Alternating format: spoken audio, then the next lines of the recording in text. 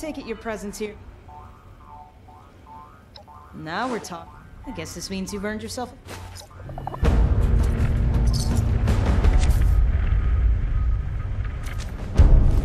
Better double those generators.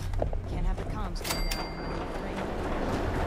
Or you go causing problems.